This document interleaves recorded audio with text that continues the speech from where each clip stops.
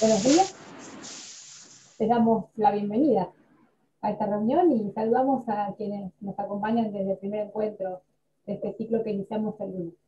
Eh, como saben, estamos transitando la Semana Virtual de UNIPE Federal, que ha organizado en la Universidad Pedagógica y que presenta más de 150 encuentros entre foros, debates y talleres. Desde el área de antropología hemos propuesto este ciclo, abordajes socioculturales de los procesos educativos, y en el marco de este ciclo, la reunión de hoy nos convoca para conversar sobre el plurilingüismo en las escuelas, ¿no? sus tensiones y, y dilemas. Y busca este encuentro abordar una cuestión que me parece resultó nodal y recurrente en los encuentros previos que tuvimos, ¿no? esta diversidad lingüística que habita los espacios educativos y que aparece como una cuestión central para pensar la interculturalidad como perspectiva transversal. Eh, hemos escuchado y compartido experiencias y reflexiones a partir de la presencia de la diversidad lingüística hablada en los espacios educativos. Pero también eh, ha sido fuerte el señalamiento de la presencia de la lengua como una ausencia, ¿no? Eh, cuando estos idiomas son ocultados o silenciados, eh, como cuando se impulsan procesos de recuperación lingüística también. En todo caso, las lenguas en diversidad en los espacios educativos aparecen como un campo de disputa. Entonces, pensando en estas cuestiones que fueron planteadas, en algunas que sabemos que recorren el campo también, hemos convocado para conversar a estos invitados, invitadas, un grupo de colegas notables que nos acompañan y a quienes les agradecemos eh, muy especialmente que se hayan sumado a este foro. Para darle la palabra a ellos, le voy a dar primero la palabra a Laura Martínez, que nos va a ir presentando. Bueno, buenos días a todas y a todos. Muchas gracias por estar acá.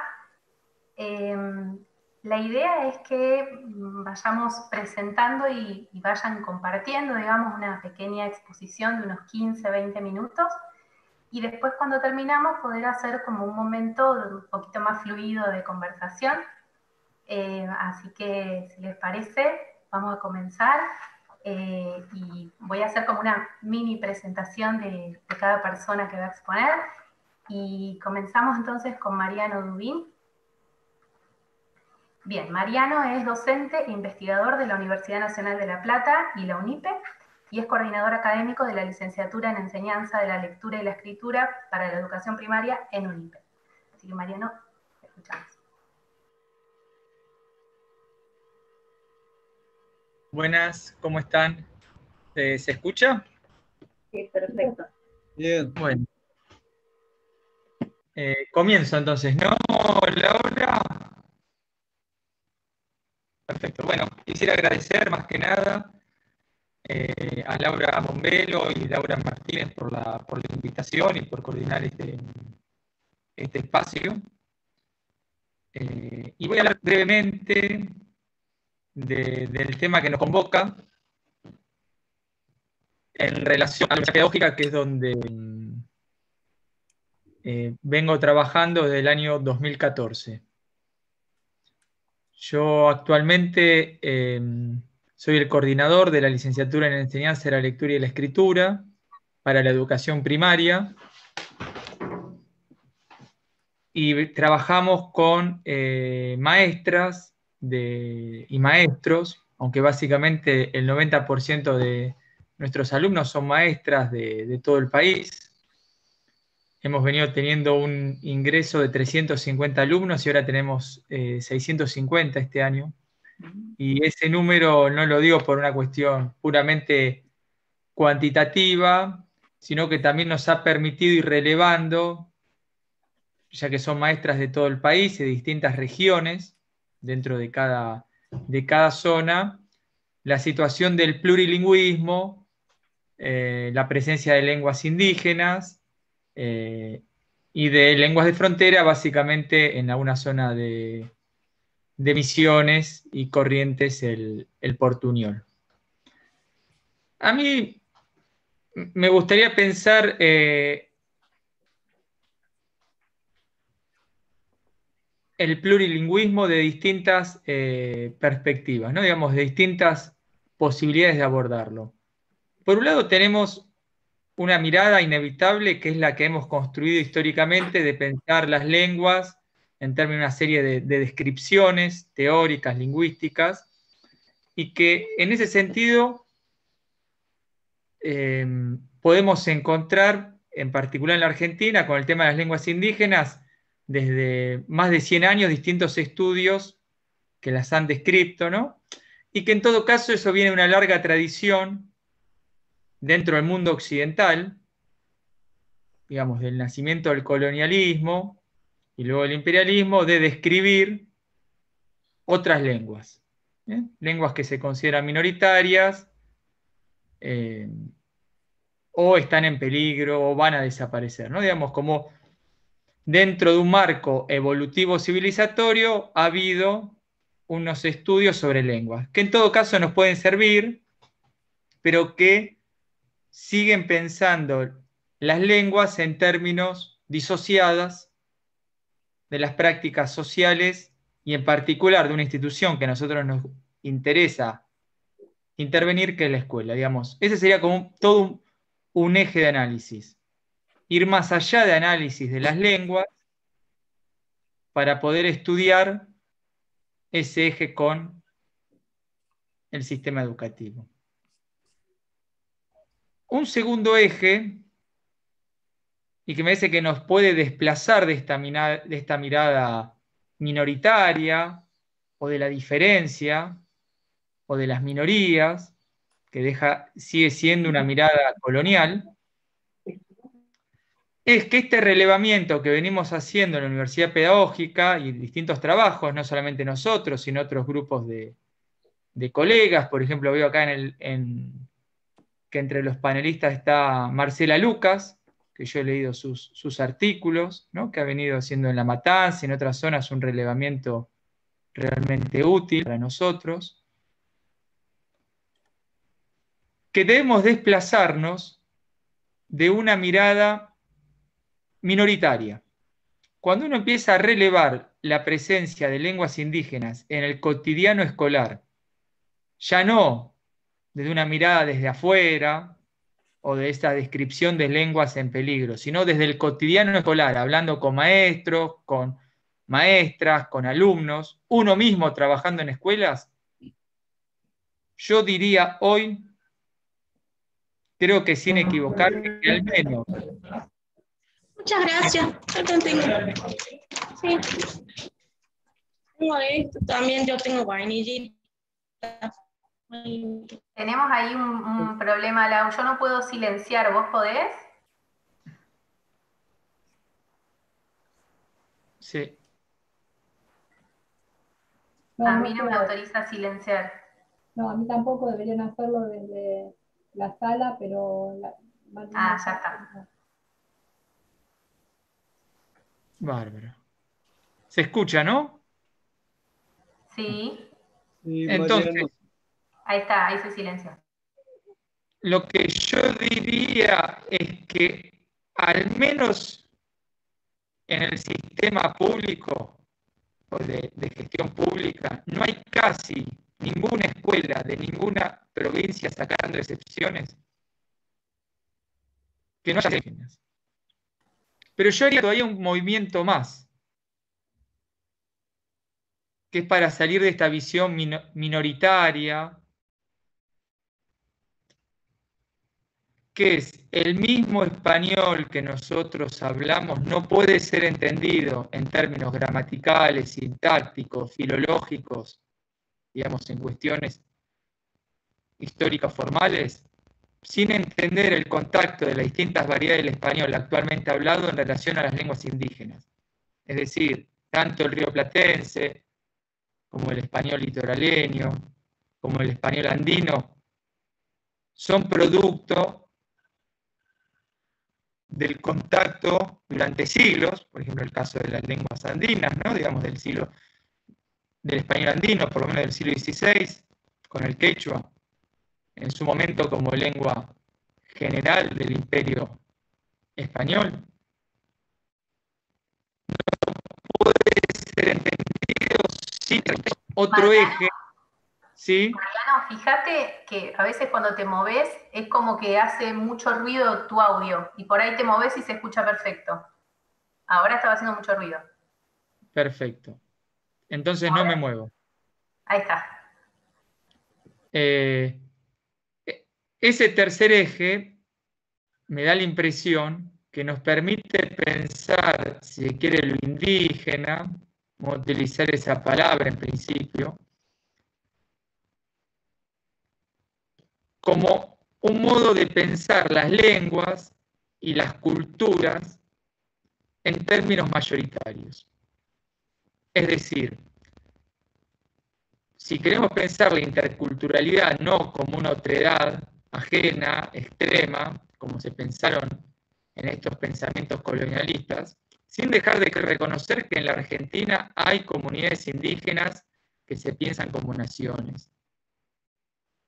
También debemos pensar que eso indígena, que eso indígena es algo estructural, identitario de todos los argentinos. Entonces, en un trabajo didáctico pedagógico, no siempre lo indígena debe ser pensado en términos de las identidades indígenas, sino como parte de una cultura criolla que es parte de la mayoría, si no de todos los argentinos. Para dar un ejemplo, la religión guaranítica cristiana hoy es mayoritaria en el Gran Buenos Aires, siendo esa religión guaranítica cristiana no necesariamente referente a que los niños y jóvenes que vamos a encontrar en nuestras escuelas se referencien con una identidad nacional guaraní. Sin embargo, el concepto de religiosidad que aparece en el Gauchito Gil, en el Pomperito, en el Obisón, da cuenta de una religiosidad guaranítica.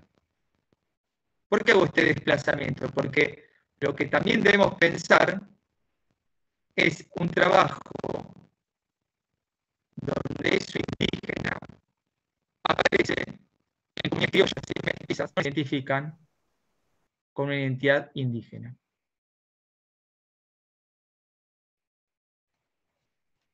Dicho todo esto,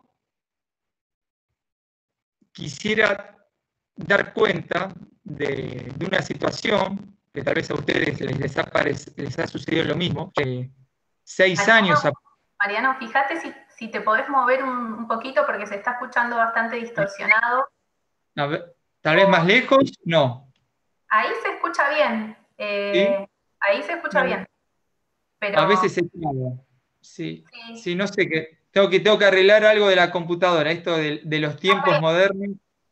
Ahora se escucha, ahora se escucha bien. Bueno.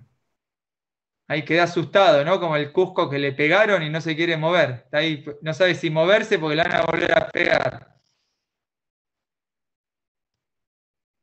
Dicho esto, eh, para mí hay un proceso paradojal, no sé si a ustedes les ha sucedido, donde lo indígena, originario, como se quiera llamar, en un momento aparece como algo que no tiene ninguna relevancia. Por ejemplo, me sucedió cuando yo hace seis años vengo estudiando la lengua, porque en las escuelas tenía muchos alumnos, y después en la carrera de letras tenía alumnos que hablaban guaraní, y uno de esos alumnos terminó siendo mi, profesor de guaraní, eh, que hoy trabaja en la UNIPE, este profesor, Daniel Rojas Delegado, con Marinés Oviedo, en Pilar.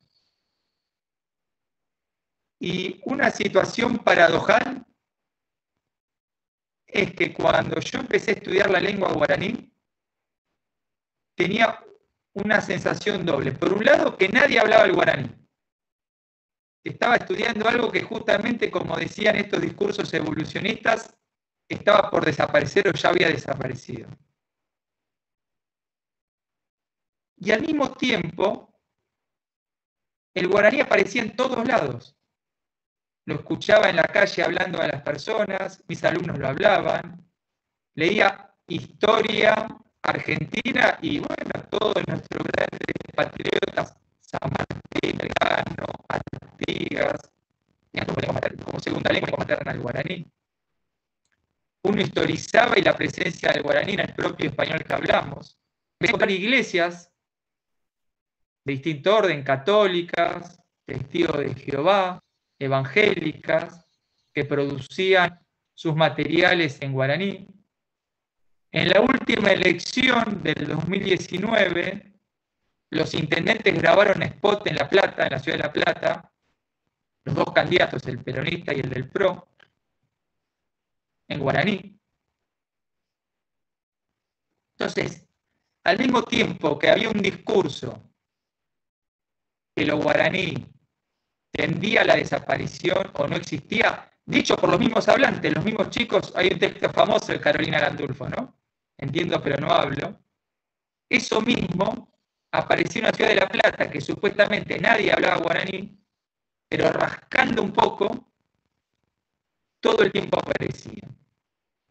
Dicho esto, y con esto termino, porque ya no sé cuánto me escuchan, tal vez estoy hablando de cualquier otro. Me dicen que sí.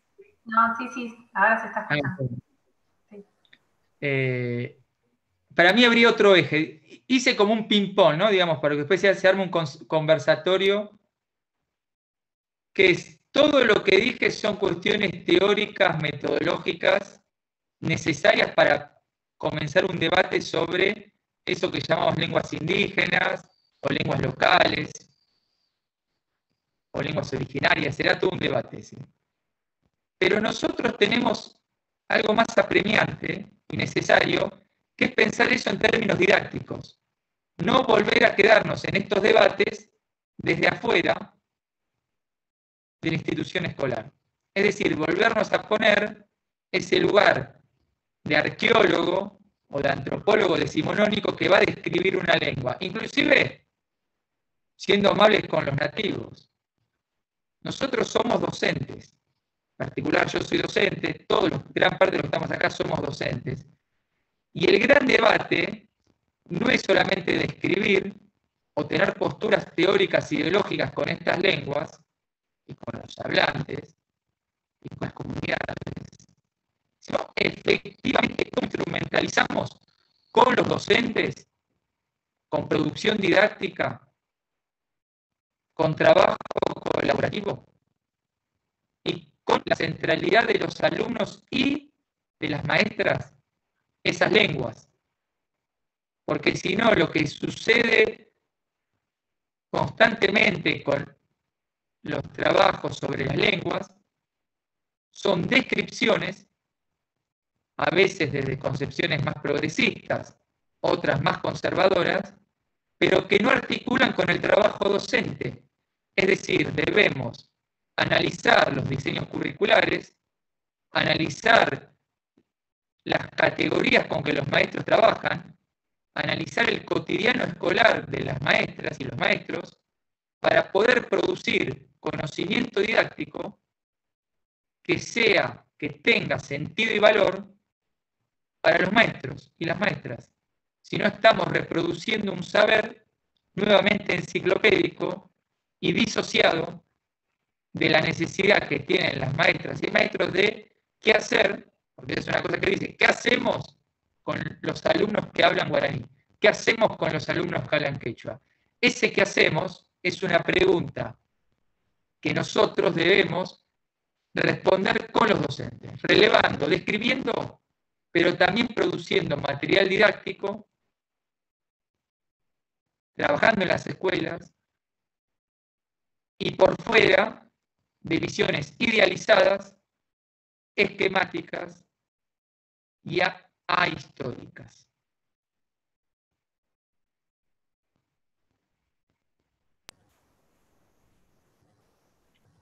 Mm, bueno, Mariana, ahí estaríamos como cerrando. No sé si querías agregar algo más. Nada más, nada más.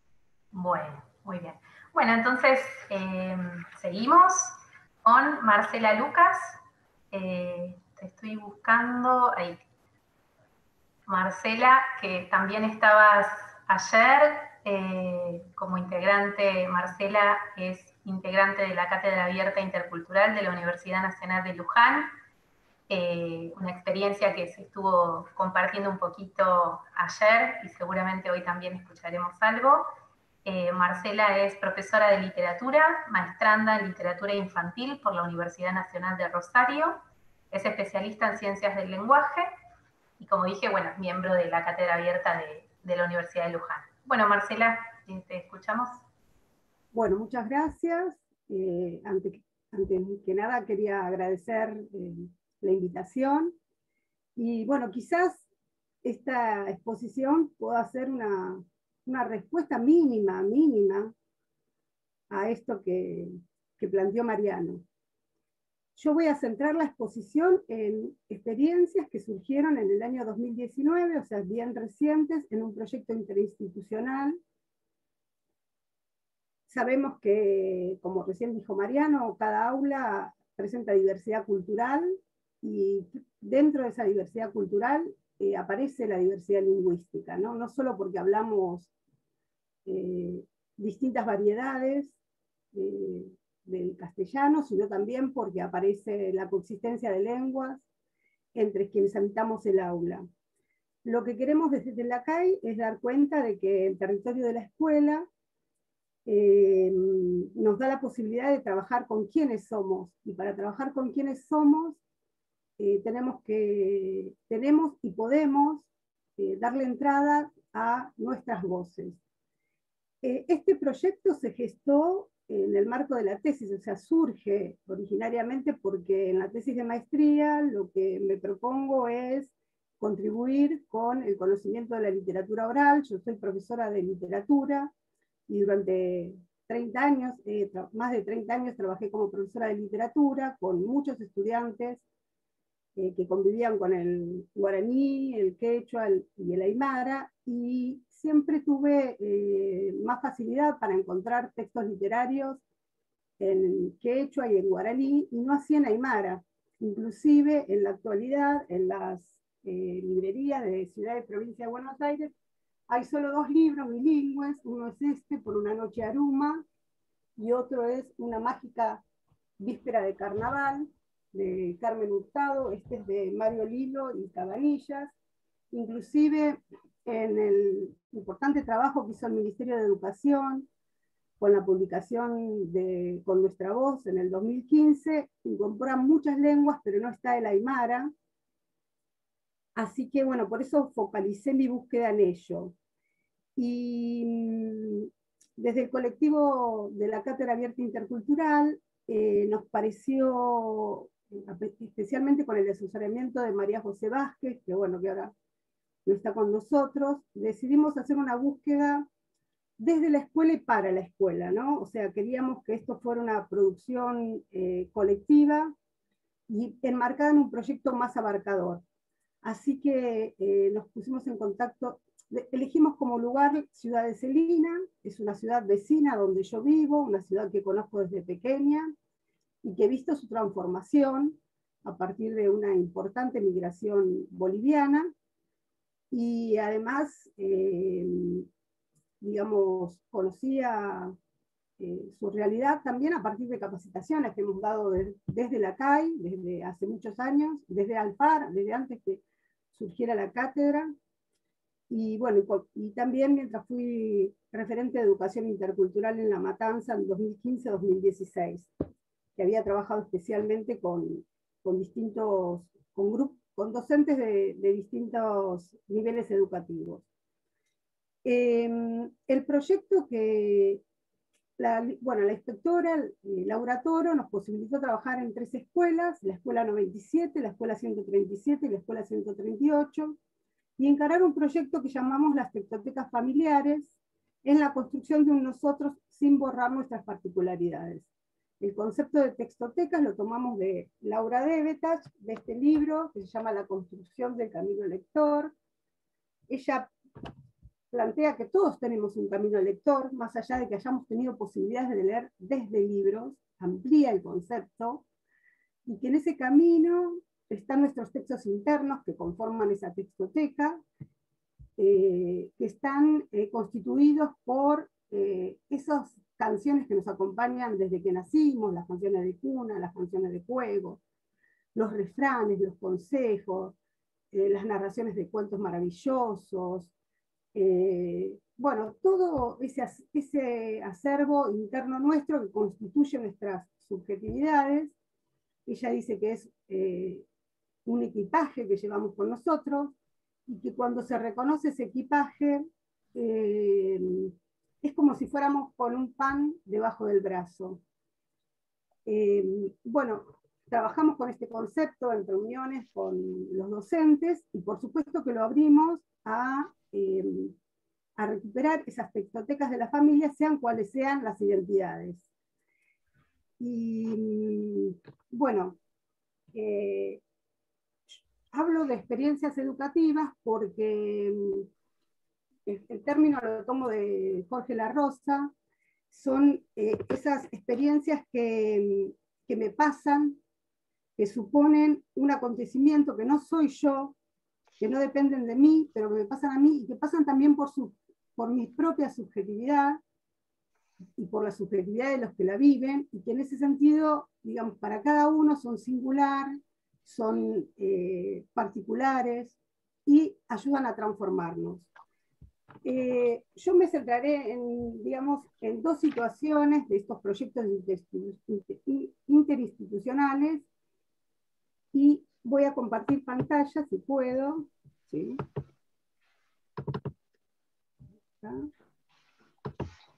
para mostrarles algunas de las, de las situaciones que se fueron dando. Bueno, en segundo grado, la maestra trabajó el concepto de textoteca con las familias y construyeron colectivamente una carpeta viajera. Y en esa carpeta viajera da cuenta realmente de que habían trabajado el, concepto de textoteca y este deseo de, trabajar desde los textos que, que nos constituyen. perdón. Y aparecen diferentes ¿no?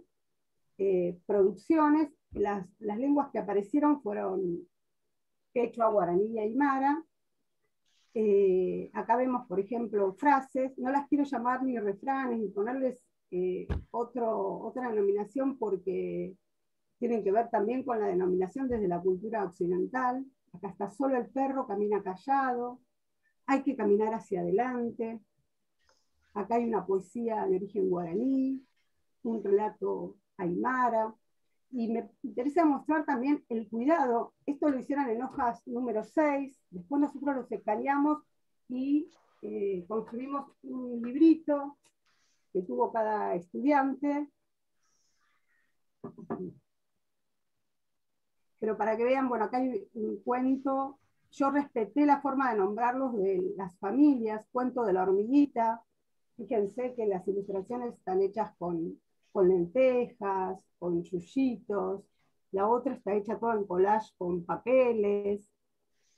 Acá hay una, el cóndor y la pastora. Los cuidados que han tenido y la amorosidad, yo digo, con, lo que, con la que han construido las familias, esta carpeta viajera, acá está el, el cóndor y el zorro, Acá aparece un relato de Caperucita Roja y el Lobo, que si bien es un relato occidental, la manera de narrarlo no es la manera occidental. Eh, también emplean semillas, hojas, ramitas para hacerlo. Bueno, esta carpeta con la que construimos ese material impreso para cada niño y niña, eh, llegó después a, quinto grado, fue compartida con los chicos de quinto grado y fue, digamos, una, como motivación junto con otros textos que los chicos trabajaron eh, para armar sus propias recopilaciones y que ellos mismos digitalizaron. Entre las actividades que hicieron también los chicos de quinto fue eh, eh, hacer un video en lengua castellana, eso sí, eh, sobre el origen del lago Titicaca, con animación de dibujitos. Y aquí les planteo algunos de los desafíos que tuvieron las niñas y los niños y los maestros y maestras. En realidad eran todas maestras, así que voy a decir las maestras, en este proceso con este, estos dos grados. Una es la escritura en lenguas indígenas, los chicos de quinto la complejidad en la transcripción, de la oralidad de esa lengua originaria, los grafemas que existen en una lengua, distintos de la otra, los fonemas que están en una lengua, y por otro lado el corrector Word, que les marcaba siempre error, y entonces a menudo los chicos querían dejar sus tareas porque el corrector les señalaba que lo que estaban escribiendo estaba mal. Eh, esto también como para pensar, eh, bueno, qué nos pasa, o sea, si hay posibilidades de estos correctores modificarlos para que los chicos no atraviesen estas situaciones.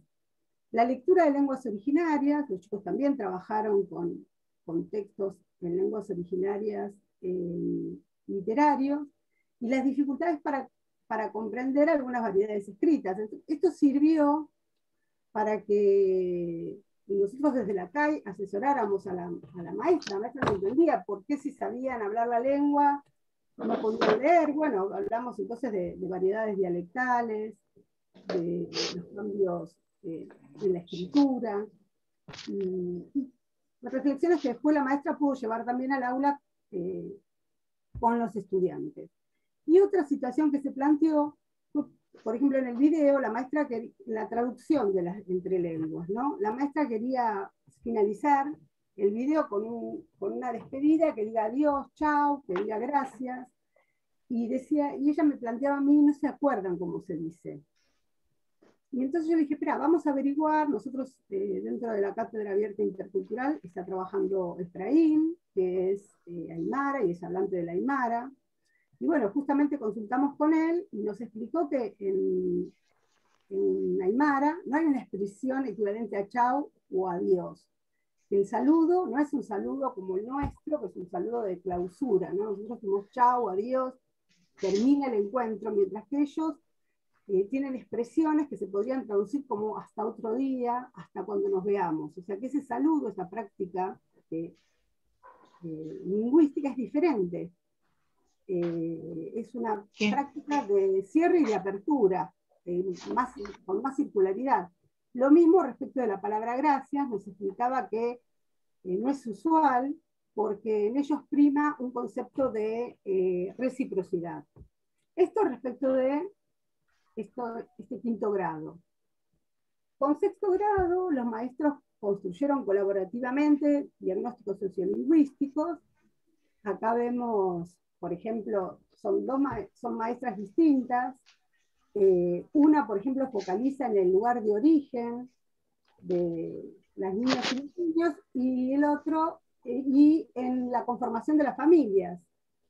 Mientras que la otra maestra focaliza también en el origen y en el uso de las lenguas.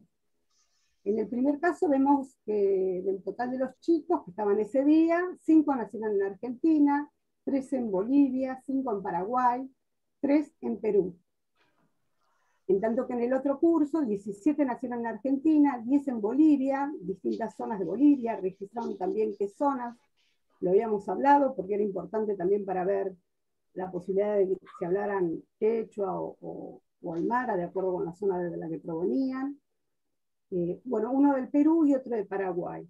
Y, también sistematizaron la cantidad de los hablantes, ¿no? Eh, cuatro solo hablaban español, cinco guaraní, seis aymara, seis quechuas, tres inglés. Inclusive si vemos, si sumamos la cantidad de hablantes de quechua y, y aymara, es mayor de los nacidos en Bolivia, y aunque incluyéramos el nacido en Perú, o sea que es probable que alguno hable el Aymara eh, porque lo aprendió en Argentina, ¿no? en, el, en el seno familiar. Los chicos también, ellos hicieron, eh, es otra escuela esta, ¿no? Es la escuela 138. Hicieron una recopilación de relatos, eh, de, y aparecieron relatos de Bolivia, de Potosí, de La Paz, de Santa Cruz de la Sierra. Eh, me interesa plantear acá que los maestros a veces se sienten acosados por eh, distintos proyectos, ¿no?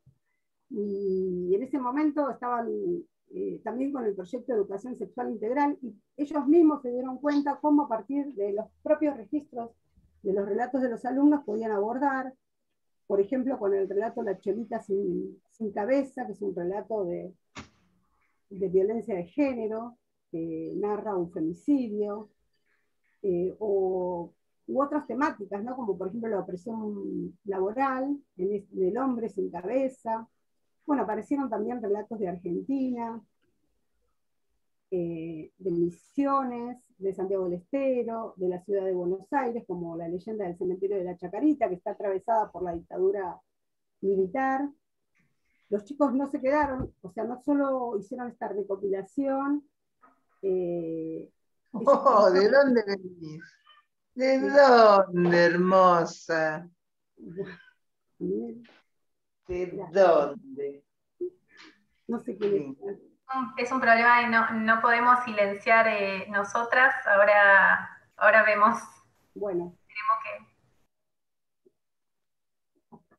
Eh, que... los chicos después investigaron en fuentes orales y en fuentes escritas el contexto de donde salían estas, eh, estos relatos. De, acuerdo con el relato, investigaban distintas cosas. Por ejemplo, con el curupí, investigaron cómo era el bosque del curupí con la leyenda del cementerio de Chacarita, investigaron sobre la historia del cementerio de la Chacarita, y a mí ahora me, impacta porque, por un lado, el, relato aparecía atravesado por el tema de la dictadura, era un forfal, un forfal con taxi en el que llevaba una persona, un fantasma, que era una mujer, Y por otro lado, en la investigación de los chicos aparecía el tema de la fiebre amarilla y el cierre del, cementerio durante esa peste, eh, que yo digo, bueno, ¿cómo les habrá impactado este año en pandemia? ¿no? Si eso, habrá colaborado a, comprender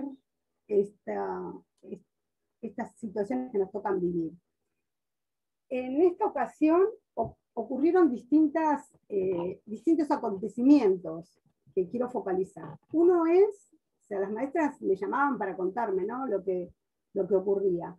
Una es que una de las niñas, eh, que era, según ellas, muy silenciosa, que estaba siempre apartada, sumisa, cambió en su relación con los compañeros, con los maestros, a partir de empezar a narrar esos relatos que la acompañan a ella y a su familia, cambió hasta de actitud corporal, decían las maestras, cambió el tono de su voz.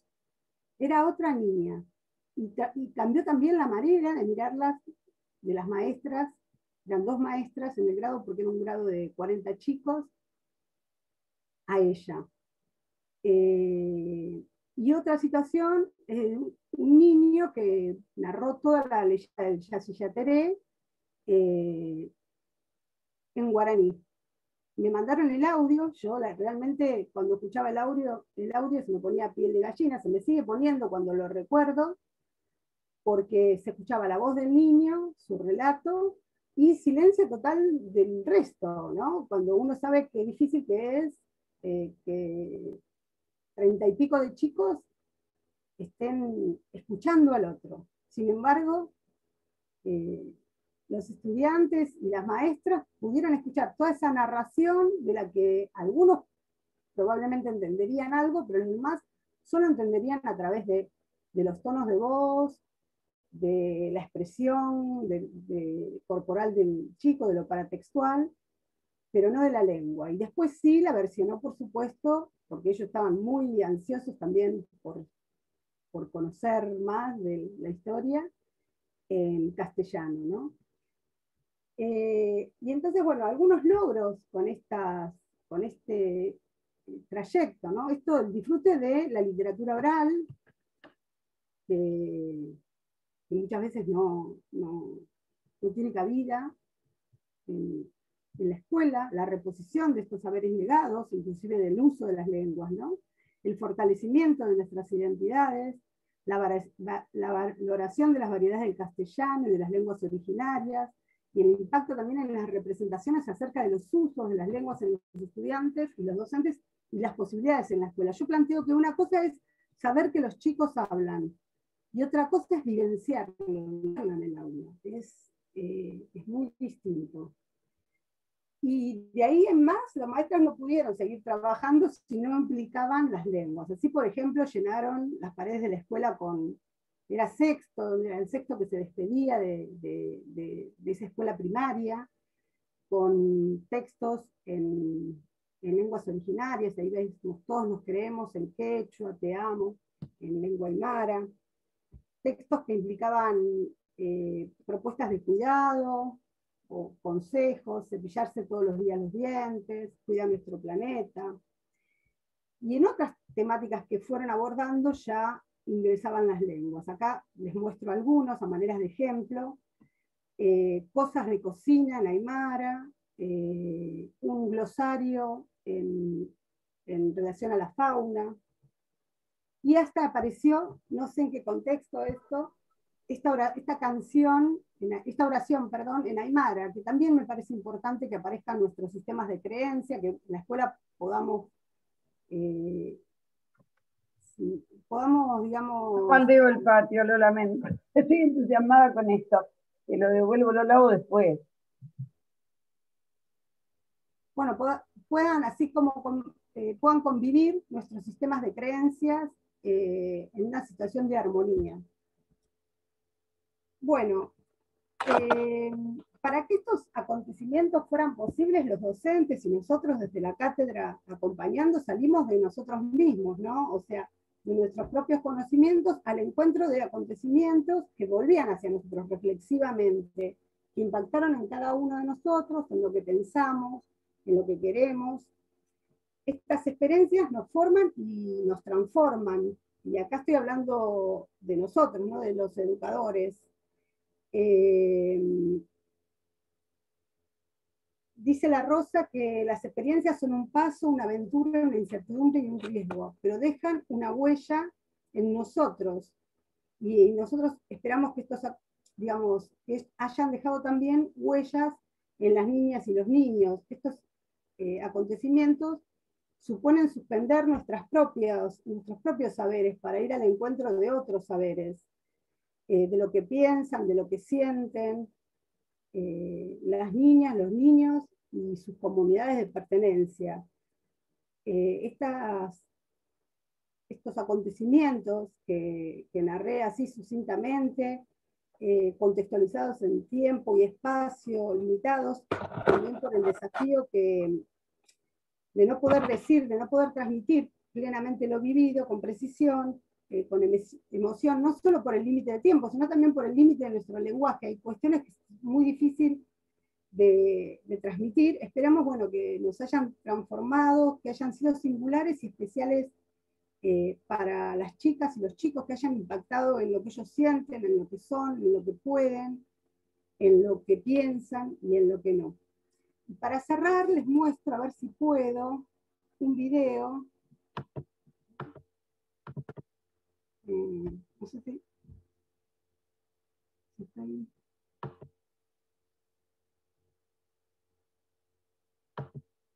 Ah, ¿qué hice? A ver si puedo compartir un videito.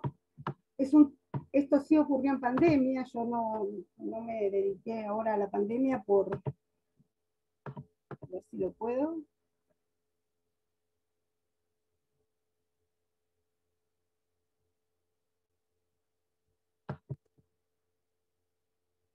Este es un relato que yo recopilo. Es una canción eh, dedicada a un laguito. Antes a nosotros en la escuela, como perdimos un lago con Chile, eh, los profesores nos enseñaban. Otapatan salam maranza pilpinto jalaski. Otapatan salam maranza pilpinto jalaski. Chikanaka pasa corre colque inaki kaktaski. Chiqanaqa pasa corre qolqa inaki kaftaski Corre pilpinto haltaski Qolqi Jota se quiere decir un lago. Entonces por eso como hemos perdido eh, cantábamos. Encima de un lago está volando correteando una mariposa. O sea, sus alitas son de oro que brillan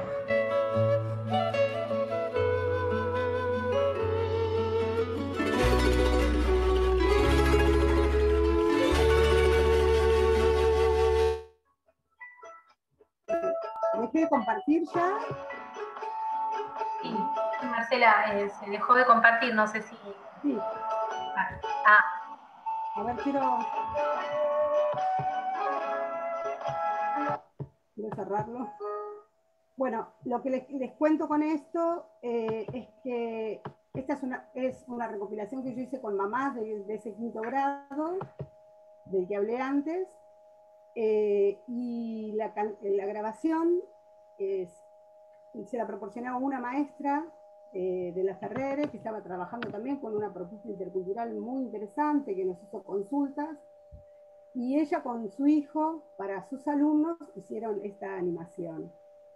Eh, y por último, cerrar con algo, porque eh, a menudo ayer yo escuchaba el tema de que nos faltan recursos, recursos pedagógicos, y yo pensaba que el mejor recurso es escuchar, es abrirnos a la escucha de las y los estudiantes.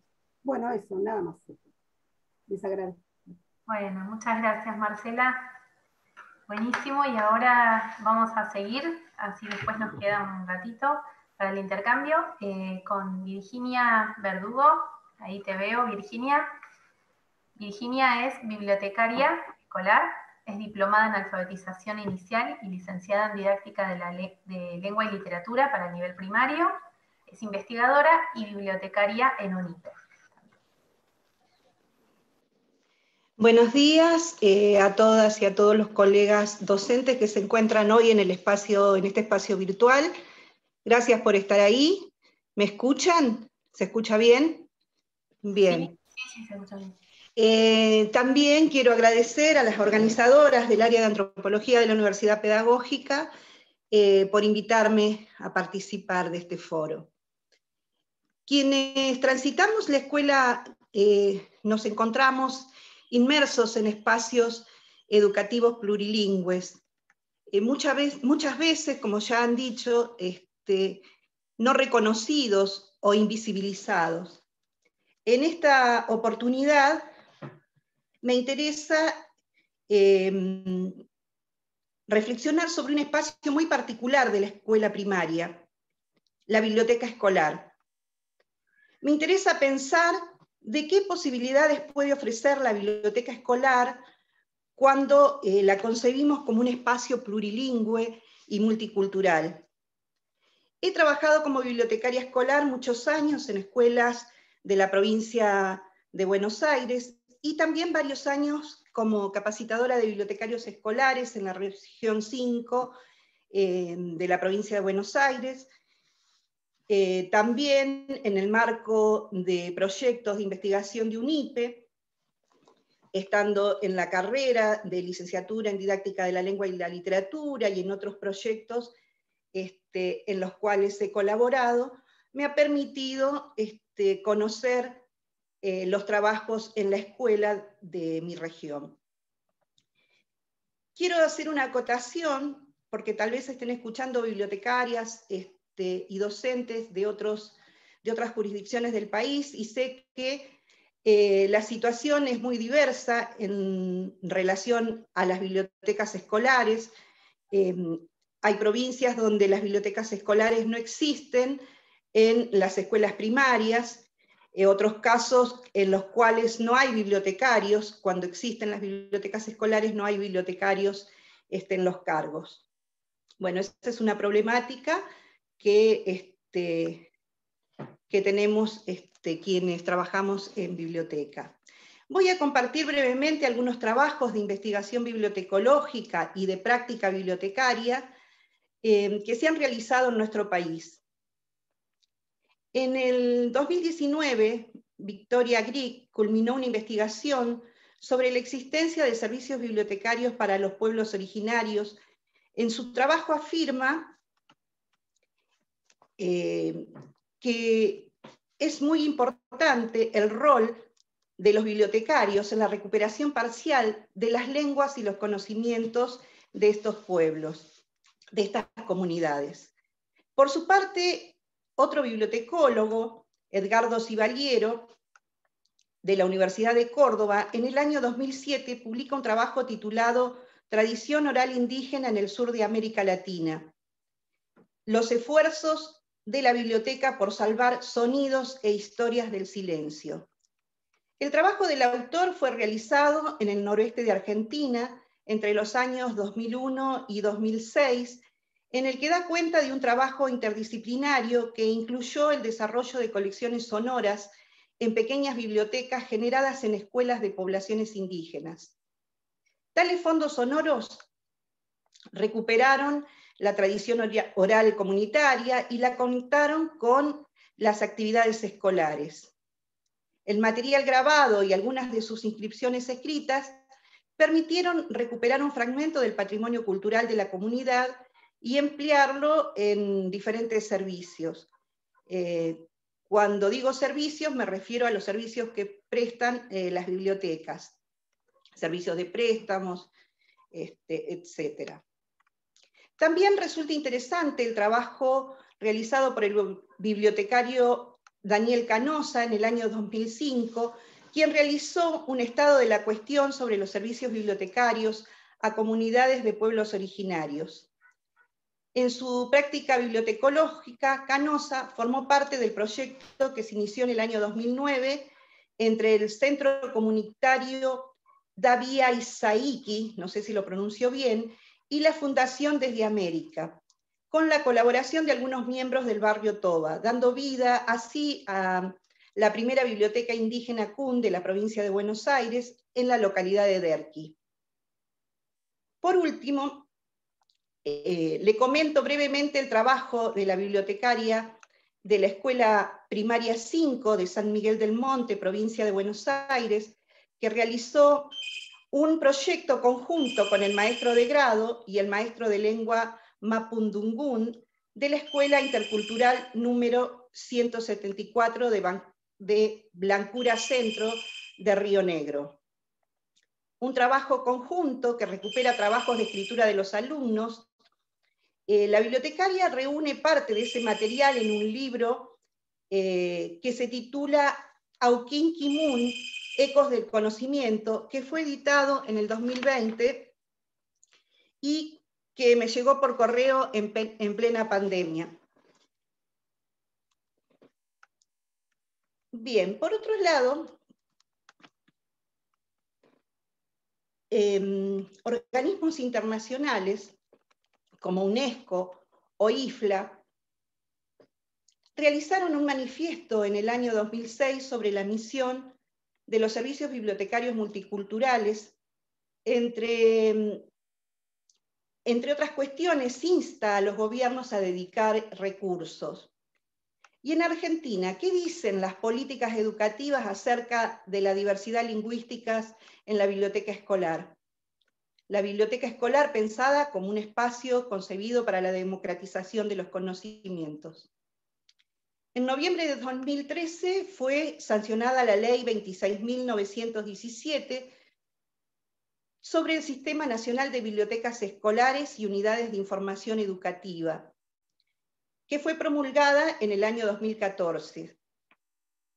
Esta ley establece en uno de sus artículos que la finalidad del sistema es generar acciones para la integración de las unidades de información en redes gestionadas adecuadamente en un marco de trabajo cooperativo, para garantizar a los actores de la comunidad educativa la igualdad de oportunidades y posibilidades de acceso a la, información y a la producción de conocimientos.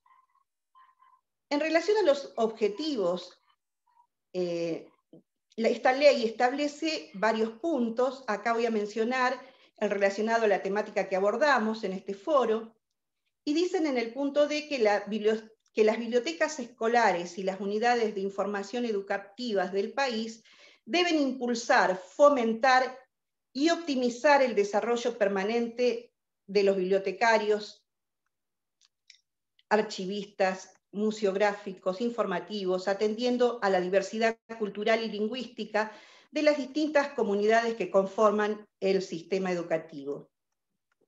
Antes de seguir, quisiera señalar que entiendo por diversidad cultural, y aquí tomo a Laura Díez, quien afirma que el multiculturalismo o la política del reconocimiento implica el supuesto de que entre las culturas diversas se establecen relaciones igualitarias y simétricas negando la conflictividad de las relaciones en las que la diversidad es construida. Lo que en realidad se promueve es el, el respeto entre los distintos colectivos culturales que se mantienen separados. Cuando busco y reviso trabajos propios que he realizado en mi práctica como bibliotecaria en escuelas primarias, me doy cuenta que muchos de esos trabajos tenían el propósito fundamental de promover desde la biblioteca el respeto entre esos colectivos culturales. Por ejemplo, la organización de charlas y encuentros de la comunidad TOBA para, los, para padres y alumnos en escuelas de Guernica. Lo cual considero que es muy importante porque a partir de esas relaciones tal vez podamos construir en los espacios de las bibliotecas otras posibilidades. Sin embargo, se hace difícil cuando estas experiencias se dan de manera aislada.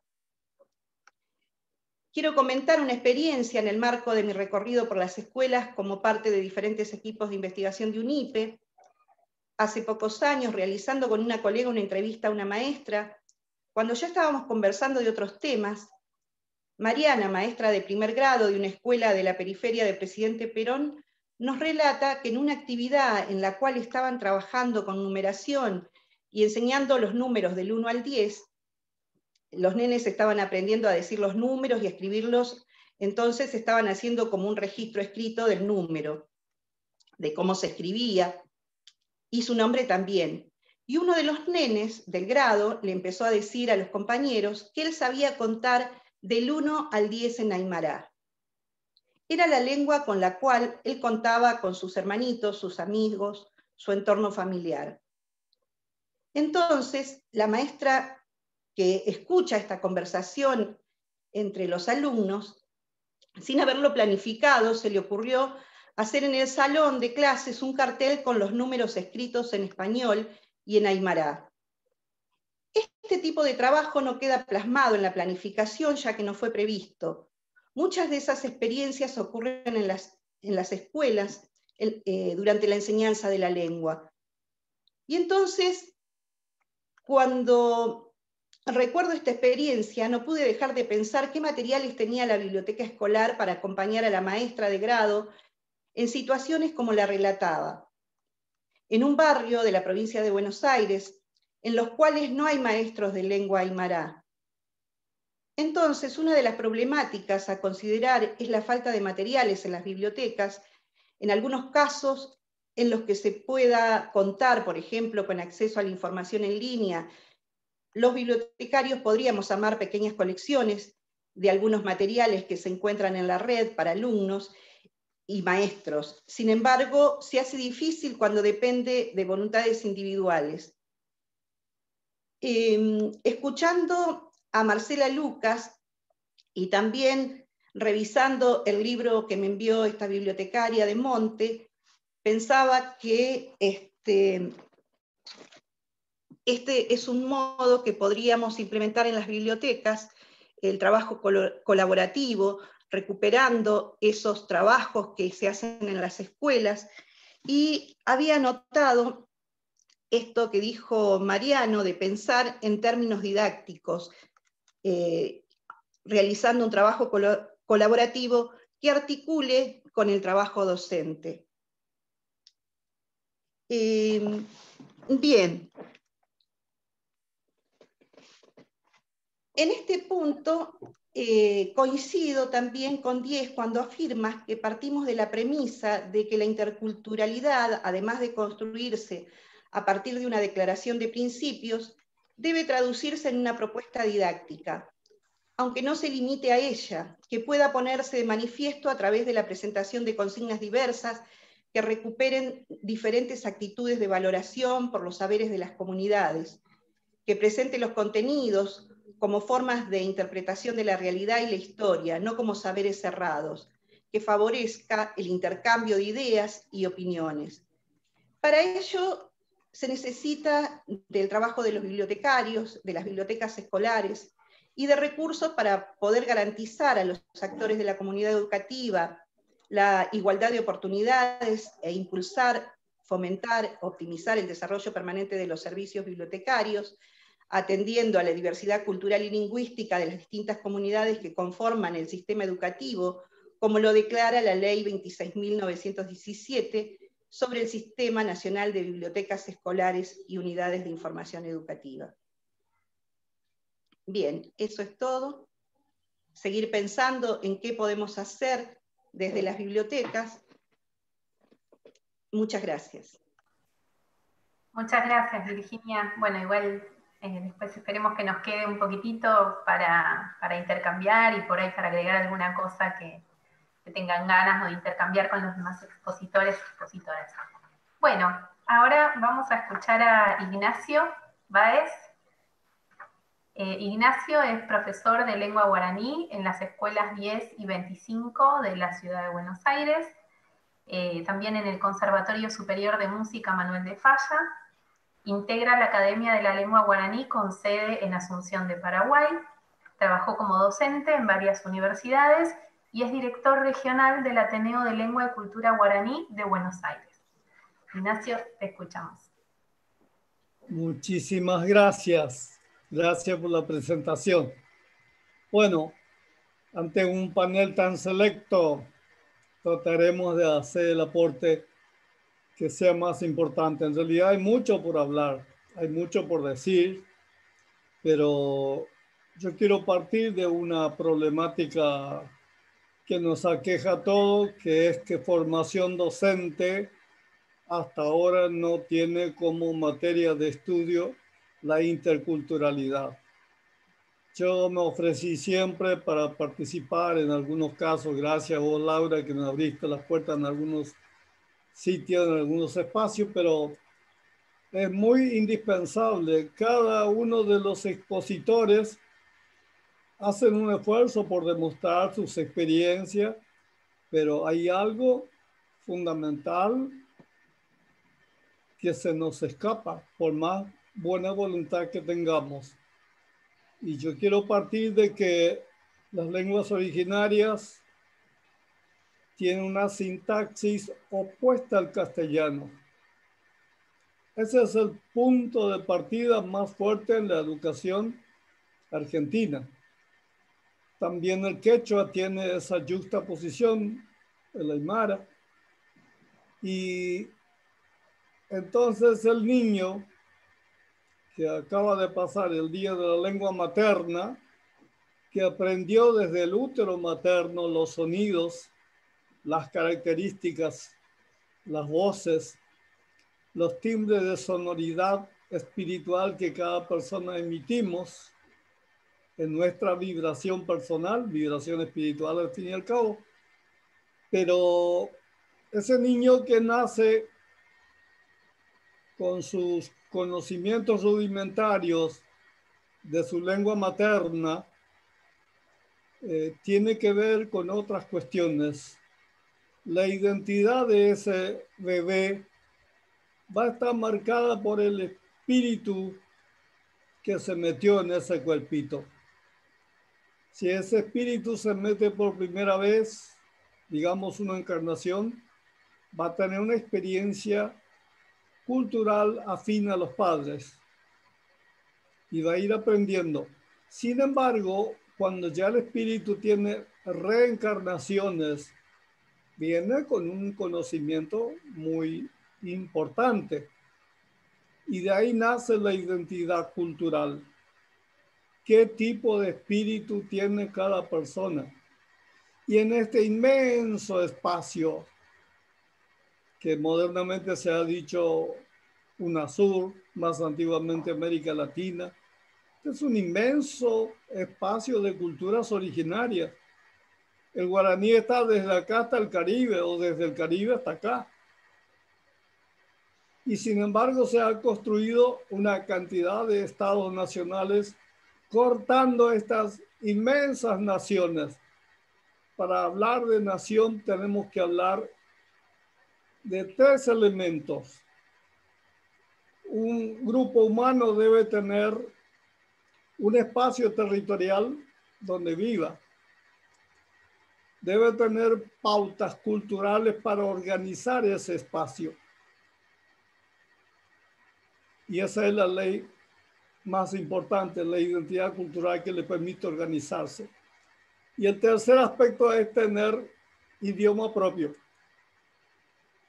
Imagínense, nosotros estamos hablando de lenguas en educación, estamos hablando de esta interculturalidad cada vez más marcada en las grandes ciudades, porque los campos donde habitaban nuestros pueblos o la selva donde habitaban nuestros pueblos originarios, hoy están dedicados a los agronegocios. Y entonces la gente tiene que ir a las ciudades para poder tener un trabajo donde desarrollarse, donde tener escuela, donde vivir. Y eso agudiza la problemática. Entonces acá estamos encontrando en la actualidad, en Cava, el 50% de los alumnos son guaraní hablantes. Ciudad de Buenos Aires tiene 50% de guaraní hablantes en la escuela primaria. Y si nosotros no atendemos esa problemática,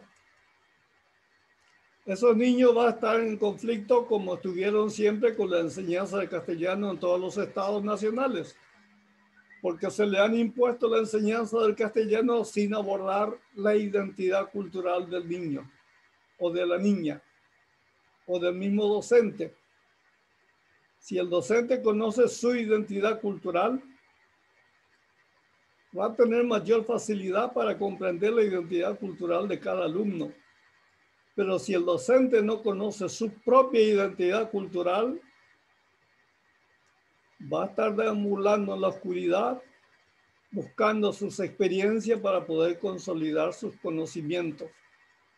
Es como largar a bucear a una persona sin equipo. Y aquí la gran deuda es abordar esta problemática en la formación docente. Reitero el concepto, es demasiado importante. Sin formación docente, no tiene una capacitación para comprender las variedades y las cualidades y las características de las lenguas originarias de este continente, va a ser difícil abordar con eficiencia el problema. Yo tengo afortunadamente experiencia en los tres niveles educativos. Empecé por las universidades, después bajé algunas secundarias y finalmente desemboqué en la primaria. Estoy en el segundo ciclo. Esporádicamente me escapé con algunos talleres en primer ciclo y el resultado fue óptimo. Cuando empecé a dar guaraní en la escuela primaria, los alumnos del séptimo grado, donde desembarqué la primera vez, a fin de año hicieron una encuesta. Se les prendió la lamparita y recorrieron todos los grados por donde se habló de guaraní. Y le preguntó a los docentes, le preguntaron a los docentes ¿Cuál es el desempeño actual de los alumnos guaraní hablantes en la lengua castellana? Y los resultados fueron óptimos. Después que esos niños escucharon la justa posición de su lengua materna con la lengua con la que está estudiando, empezaron a entender muchas cosas y facilitó la comprensión del castellano. Obviamente el inglés también está en justa posición al castellano, pero bueno, se ha hablado siempre de que a un guaraní hablante le resulta fácil aprender el inglés. Claro, tiene la misma juxtaposición, la misma este, formación de las oraciones. Entonces, le resulta comprensible y más accesible. Y nosotros en este momento tenemos que darnos cuenta que en una sociedad donde cada vez hay más dificultades de índole económico y de espacio para vivir y de trabajo para desarrollar, y donde también existe muchísima presión de los vicios que se presentan como placeres, después se convierten en vicio y después se convierten en destructivos. Entonces, ante toda esa presión, en la escuela se ve el patoteo cultural entre los niños. Yo no lo quiero a este otro que no me parece físicamente y que habla otra lengua. A eso lo hemos escuchado definir como bullying. ¿Y cuál es la solución para el bullying?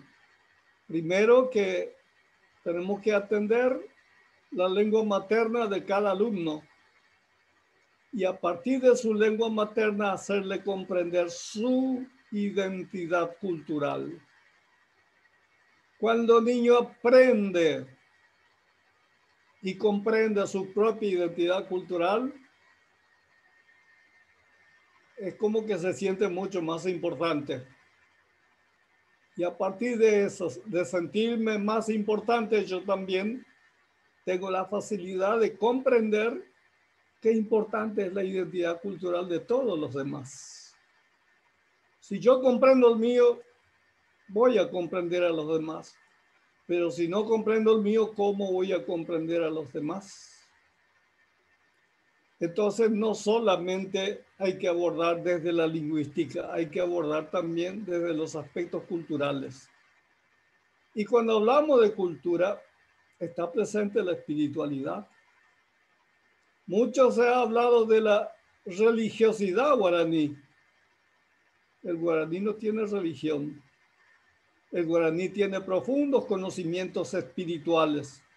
Los mestizos son los que tienen religión. Los guaraníes originarios tienen espiritualidad.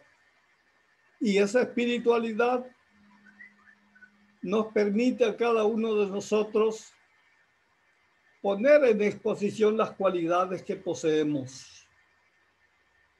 Dice el guaraní y el maya que los seres humanos tenemos 10 posibilidades espirituales para fortalecer la manifestación de nuestros cinco sentidos.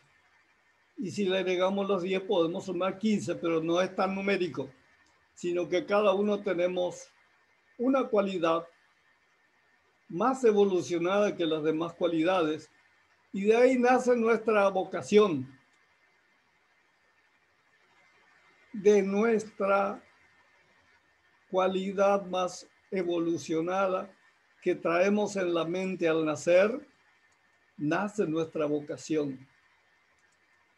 Y llegar a hacer la docencia por vocación es tener capacidad para dar mucho amor. Y cuando nos predisponemos vocacionalmente tanto a la docencia como a la medicina, estamos brindando lo mejor de nosotros. Pero no tenemos que perder de vista, por favor, los sentidos espirituales que tenemos todos. Lo importante es que cada uno descubramos cuál de nuestras cualidades es más importante en nosotros. Algunos tienen la cualidad escribiente y escriben maravillas. Otros tienen la cualidad poética y la poesía brota como si fuera un manantial. Otros poseen la habilidad artística con las manos y puede ser pintor, puede ser dibujante, puede ser escultor, puede ser carpintero, puede ser decorador, albañil, cuántas cosas. Pero si cada uno de nosotros descubrimos esa mejor habilidad para poder comprender a nuestros alumnos, naturalmente nuestra vocación de docente se va a sentir coronado por un éxito y por una felicidad interior muy importante. Creo que ese elemento es lo que nos tienen ocupado en todas estas cuestiones. Buscar el perfeccionamiento de cada situación. Hablé de justa posición lingüística, Hablé del valor identidad cultural. Estoy hablando un poco también de las cualidades espirituales de las que nacen nuestras mejores habilidades. Por ejemplo, el músico tiene un oído impresionante y naturalmente tiene también, casi por regla general, tiene también la poesía. Y eso viene con una gran evolución espiritual. Generalmente los espíritus que reencarnan por última vez vienen con muchísimas cualidades. Son muy multifacéticos y transmiten mucha armonía. Y esa armonía que transmitimos cuando compartimos en la misma dimensión, sentimos un inmenso escalofrío porque se han aproximado los espíritus guía que nos acompañan. Aunque actualmente se dice, me da piel de gallina. Yo creo que rebajarnos mucho, buscar nuestra expresividad vibratoria en la piel de un pollo o una gallina. Tenemos que recuperar las palabras, el escalofrío, la vibración espiritual. Hay una cantidad de cosas, pero duele mucho ver cómo vamos perdiendo el mismo castellano. Vamos perdiendo mucho. Y se instala primero como modismo las diferencias y después se pierde la esencia y nos quedamos con lo que queda. Valga la redundancia. Entonces hablamos de delivery en lugar de decir reparto a domicilio. Ya no queremos decir afiche. Estamos hablando palabras en inglés. Y todo ingresa como modismo. En un momento determinado en las clases altas, que son las que más generan ese tipo de uso, empezaron a hablar de comer, solamente de comer. Comer a la mañana, comer al mediodía, comer a la noche. Y entonces se pierden la palabra desayuno, almuerzo y cena. Otra preocupación actual, casi todo el mundo habla en tiempo presente se va dejando de lado el tiempo pasado y el futuro. Se habla todo, casi todos los verbos se está usando en tiempo presente. Yo discutí con colegas y me dijeron que yo tenía que ayornarme a la actualidad. Pero eso es perder la esencia lingüística. Creo que es algo que tenemos que valorar y respetar, cualquiera sea la lengua y más todavía cuando son las lenguas que utilizamos como las lenguas oficiales. No obstante, podemos comprender todas las demás lenguas y podemos hablar ese multilingüismo. Yo conocí hermanos originarios del Chaco paraguayo que fueron entrando en contactos con los terratenientes que aparecían en su espacio territorial Aparecieron alemanes, aprendieron el alemán. Aprendieron portugués, aprendió el portugués. Apareció el castellano, aprendió. Son guaraníes y no guaraníes originarios hablando cinco lenguas, cinco idiomas. Ellos sí pueden obligarse a entender a los demás porque es su relación laboral. Y aprenden a hablar. Sin embargo, el dador del trabajo nunca se va a ocupar de adaptarse a la lengua de su empleado, sino que va a imponer su lógica. Y parecería que cuando más recurso económico va acumulando el hombre, se, se vuelve más bruto y se vuelve más ignorante, porque solamente valora la tenencia de cosas materiales, que es lo que cree que a él lo refleja como importante. Y en realidad lo importante está acá. Lo importante está en el conocimiento, lo importante está en la evolución, lo importante está en qué es lo que damos, aportamos a la sociedad. Eso es lo más importante. Ignacio. yo, sí. Perdón, perdón que te, que te interrumpí, pero te quería proponer eh, que mm, ahora, eh, eh, cortemos un, un, poquitito para que puedas poner María Inés, que es la última expositora, y así hay tiempo para que tengan un intercambio. De hecho, hay, hay ya una pregunta para vos, pero para que la hagamos después cuando terminan todas las expositoras, ¿te parece? Con todo gusto. Cortamos ya entonces, gracias. Bueno, dale. Bueno, entonces ahora vamos a escuchar a María Inés Oviedo. Ella es licenciada en Enseñanza de la Lengua y la Literatura por la UNSAM y doctoranda en Ciencias de la Educación por la Universidad Nacional de La Plata. Estuvo a cargo del espacio de Sociolingüística y Educación de la licenciatura en Enseñanza Básica de la UNSAM. Desarrolla tareas de docencia e investigación en UNIPE desde 2009 en ciclos de complementación curricular para profesores de educación primaria. Bien, gracias eh, Laura. Eh, es un lujo quedar al final, ¿eh? aviso, este, porque uno va pensando en cada una de las intervenciones y cómo, este, eh, cómo, cómo nos tracciona el pensamiento y bueno, nada, es una, es una riqueza que me llevo y que no voy a poder terminar de, de enunciar. Eh, voy a tomar solamente dos, dos cuestiones de todas las que dijeron como para introducir lo que quiero compartir este, desde, desde, la poca experiencia que tengo en estos temas.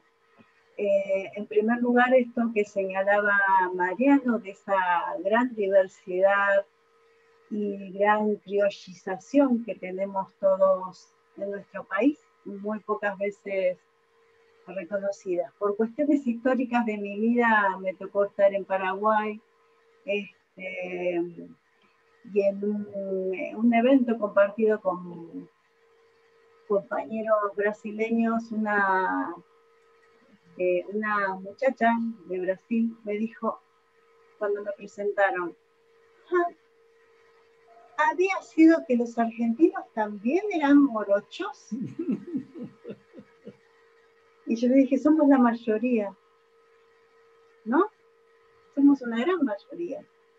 Este, pero bueno, esta representación este, de que bajamos de los barcos y como que bajamos de los barcos y no había nadie más, este, persiste, ¿no? Incluso en, eh, en la representación que tienen de nosotros, este, nuestros, nuestros países vecinos. Eso en primer lugar, eh, y a partir de eso como la necesidad de reconocer la propia, este, el propio origen, eh, la propia cultura, eh, nuestra inscripción multicultural también, como señalaba Ignacio, retomando también lo de Ignacio, la preocupación central que yo vengo teniendo en los últimos años desde que trabajé en UNSAM y ahora en los últimos años en UNIPE, tiene que ver con la formación docente, que era algo que centralizaba eh, recién Ignacio. Eh, a partir de una investigación que vengo desarrollando en pos del doctorado, eh, realicé una serie de entrevistas a 18 docentes formadores que están a cargo de espacios curriculares en los institutos de formación docente de la provincia de Buenos Aires, de 11 regiones distintas de la provincia de Buenos Aires, eh, que están a cargo de los espacios, eh, los talleres de lectura y escritura del primer año de profesorado, las didácticas de las prácticas de lenguaje en primer y segundo año y el Ateneo eh, de prácticas del lenguaje en el cuarto año de la carrera. Eh, estas entrevistas, como son entrevistas en profundidad, lo que, eh, lo que sucede es que los temas van saliendo a partir principalmente de una pregunta general que, que realizo, ¿no? pero van surgiendo a partir de los intereses de los formadores una de las cuestiones que a mí me llamó mucho la atención, digo, entre medio de todas las conversaciones que tuve, era la escasa presencia que tenía en las voces de los formadores la diversidad lingüística. ¿Sí?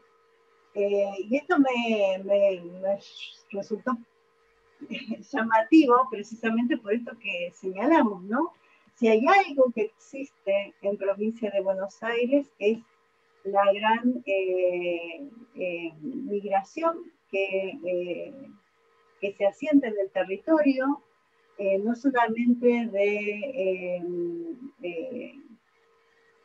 personas que vienen de las distintas provincias del país, sino también de países limítrofes.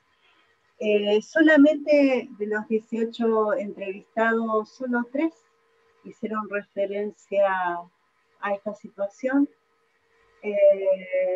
Y de ahí esta preocupación por la formación docente en torno a estos temas de, eh, la interculturalidad, el multilingüismo, eh, la diversidad lingüística como un tema ausente. Yo sé que estoy diciendo el rey está desnudo, no es algo que todos sabemos, que quiero aportarles desde esta investigación que realicé algunas, algunas cuestiones. Eh, les decía, solamente eh, en tres entrevistados surgió la temática eh, y esto es este, importante de pensar porque, además de las razones históricas, no existe en apariencia eh, como primera preocupación de los formadores, de docentes de educación primaria, es decir, de, formadores en los, eh, que, se van, que se dedican a formar a aquellos que reciben a los niños, a todos los niños que transitan, eh, que están en nuestro país. Entonces, si hay un lugar donde seguramente la variedad lingüística estalla en forma multicolor, es en la escuela primaria, ¿sí? Entonces, bueno, eh, quiero compartirles algunas cuestiones en torno a esto. Entonces, eh, a partir de, de, estas entrevistas que realicé, que no tenían como eje, realmente no tenían como eje la diversidad lingüística, la formación docente, fue algo con lo que me encontré este, como, como, gran ausencia o con, o con, pocas palabras que lo retomaran. Eh, y esto es muy interesante porque el diseño curricular de la formación docente para la provincia de Buenos Aires centraliza en su marco eh, curricular. Eh, la necesidad de que la interculturalidad esté presente. ¿sí? Eh, destaqué esta frase que se encuentra entre las páginas 18 y 20 de ese eh, marco curricular. Dice así, el maestro o maestra, en tanto tal, ha de problematizar y reconceptualizar esta relación a partir del ambiente como concepto complejo y estructurante ha de ser agente de una pedagogía de la diversidad, recuperando y reinstituyendo la diversidad de miradas que permita repensar la relación y que promueva integración más que inclusión. Es decir, eh, en apariencia, en, el deber ser que nos propone eh, el currículum de formación docente, el maestro debe hacerse cargo de esta diversidad tiene que ser un pedagogo de la diversidad. Eh, si consideramos toda esta historia eh, de opresión lingüística, de invisibilización de las lenguas originarias, eh, es una tarea gigantesca la que se le propone al futuro maestro de educación primaria. no solamente reconocer y respetar, sino ser un pedagogo de esa diversidad. Luego de ese gran este, enunciado dentro del marco curricular, recorriendo nuestra área, el área que, me incumbe, ¿no? el área que históricamente refiere a la disciplina escolar lengua y literatura, me encuentro con que hay un solo una sola, un solo momento en que eh, la cuestión de la diversidad lingüística se hace presente en la formación docente, en un solo eje de uno de los, de los espacios, de, un solo, de uno solo de los espacios, considerando que tienen cuatro. ¿sí? En el segundo año de la carrera, en uno de los ejes, ¿sí? en didáctica de la alfabetización, aparece eh, este contenido. La alfabetización en contexto de diversidad cultural y lingüística, primera lengua materna y segunda lengua, multilingüismo. ¿sí? Eh, es decir, toda la formación docente eh, por la cual el, docente de educación primaria debería volverse en un agente que promueva eh, la inclusión y la diversidad, queda en lo que refiere a la diversidad lingüística, a las lenguas indígenas y a las variedades eh, criollas del español, eh, queda reducido a dos renglones de, una, de un eje de una materia de los cuatro años. ¿sí? Entonces, lo que yo noto en primer lugar es que se deposita un deber muy grande en los maestros que van a ser formados dentro de esta política educativa. Un deber muy, muy grande, para el cual aparentemente solamente se le otorga, se le se prescribe eh, un pequeño momento en el segundo año de la formación. En estas entrevistas que yo les decía que surgió el tema, pero en muy pocas ocasiones, una docente de la región 4 de la provincia de Buenos Aires comenta, leo, hay en algunos casos, eh, hay alumnado que los padres pueden ser de otras provincias y de o de otros países. Son más locales. Y en esos casos se trabaja con esa diversidad. Es decir, se tiene muy presente la cuestión de que el alumno mismo no se siente cohibido por el hecho de que tiene un acento o lo que fuera. Ha pasado que se sentían mal porque no podían pronunciar la letra R. Eso se ve más en el nivel primario. No sé en secundario porque no he estado, pero en las aulas de primaria sí que los chicos que son de las escuelas, donde los papás son migrantes bolivianos que trabajan en la finca, vos entonces vas a grado y ves que una nena no habla, porque en la casa no hablan castellano. Y a veces no sabes cómo abordar esa problemática o trabajar esa cuestión para poder aportarle al alumno los, los elementos que necesita.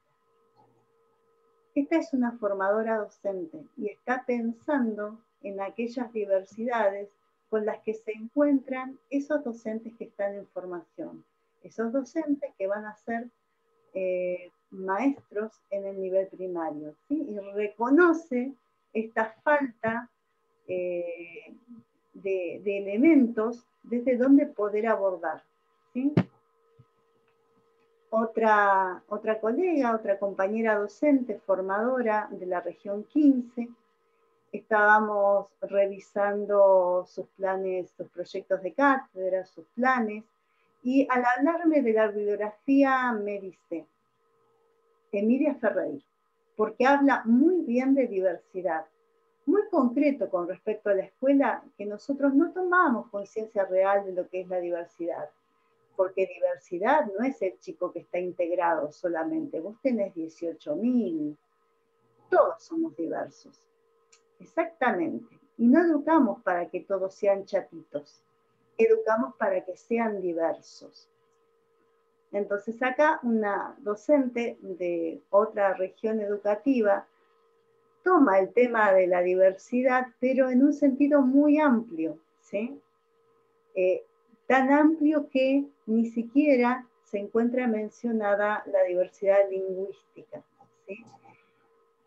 Consideremos que la cuestión lingüística debería ser algo central en tanto en la educación primaria es que los niños deberían aprender eh, una lengua escrita, y en su, en su descripción, de, en su conceptualización de la diversidad, ni siquiera entra esta idea de lengua diversa. sino que habla de diversidades en general y se apoya en una bibliografía que también habla de la diversidad como algo general, como algo que hay que celebrar, como algo que hay que promover, pero en un sentido muy amplio, que no permite eh, reconocer qué tipo de eh, didáctica se ha de emplear. Finalmente, la tercera docente que nos habla en estas entrevistas eh, de la diversidad se llama Magdalena y es docente de la región 19. ¿sí? También hablando sobre su proyecto de cátedra y de la bibliografía con la que trabaja, bueno, nos señala que trabajó con Annie Hobby, con Kaufman, eh, un texto que nunca falta para la gramática, la lectura es Otañi, y el texto, acá centralizo, el papel del lenguaje en el fracaso escolar, que lo utiliza en realidad para, es un profesor especialista en lingüística, me aclara, y plantea el lenguaje que el lenguaje estigmatiza.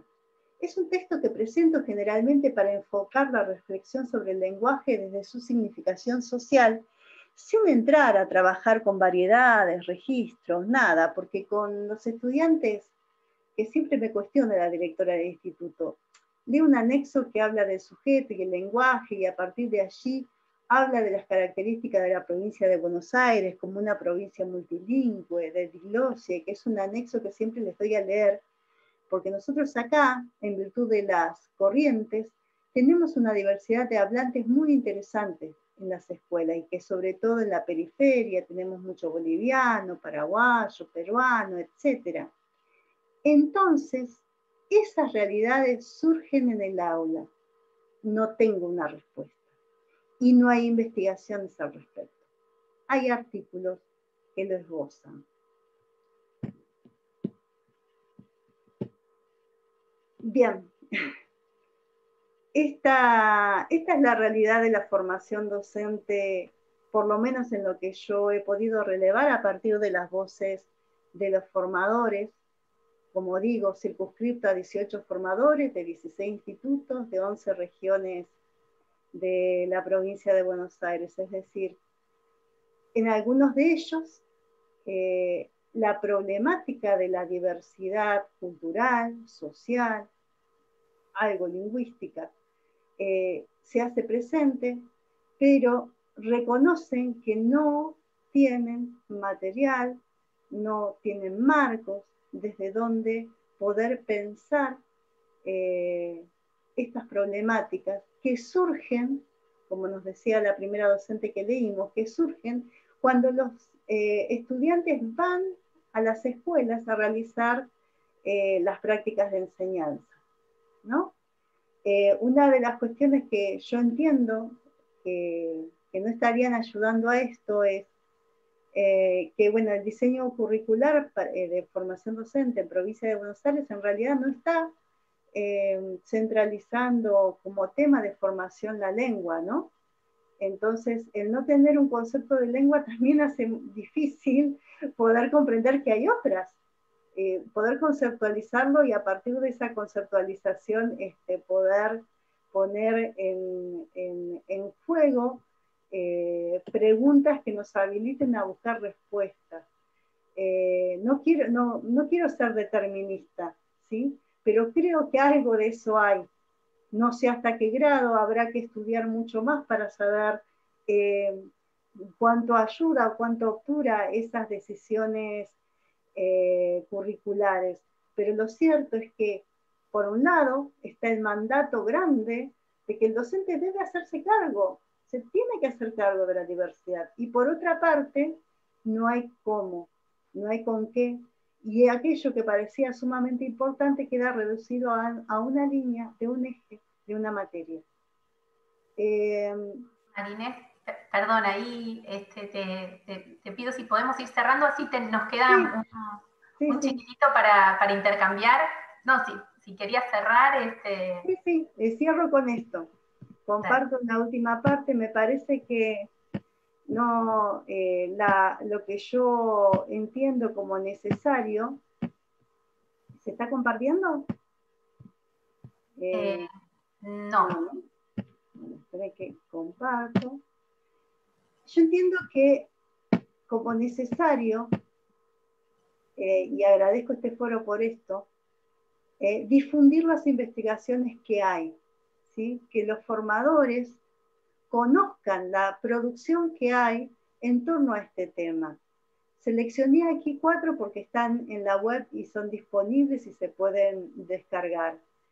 Eh, creo que es una, cuestión urgente, eh, una cuestión necesaria, la autoformación de los, de los formadores.